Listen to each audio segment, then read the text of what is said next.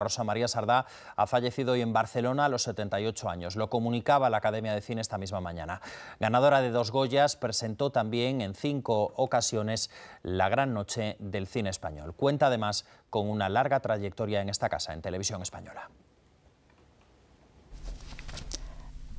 No estoy pasando por uno de mis mejores momentos. Fue la última confesión de Rosa María Sarda durante la cuarentena por el coronavirus. La actriz y presentadora ha fallecido después de una larga enfermedad a los 78 años. En su filmografía, más de 50 películas sobre las tablas, decenas de obras de teatro y también incalculables programas de televisión. Entre sus galardones, dos Goyas como mejor actriz de reparto por Sinvergüenza y por qué lo llaman amor cuando quieren decir sexo. En el 2020 recibió la medalla de oro de la Academia por su carrera. Llevaba el teatro y la interpretación en las venas no tuvo una infancia fácil. Su padre fue un campesino que emigró a Barcelona y su madre era enfermera.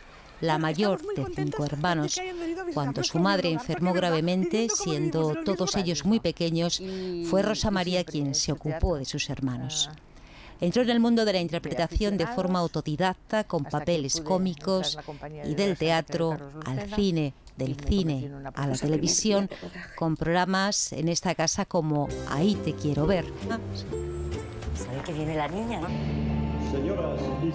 También su estreno en el mundo literario con la obra Un incidente sin importancia, su confesión más íntima, su última película Ocho apellidos catalanes, una vez dijo de sí misma que le hubiera gustado ser igual de bona que Marilyn Monroe, pero ella, Rosa, fue para el mundo de la escena española mucho más. unas pocas o muchas personitas, personas maravillosas que han dejado sus quehaceres.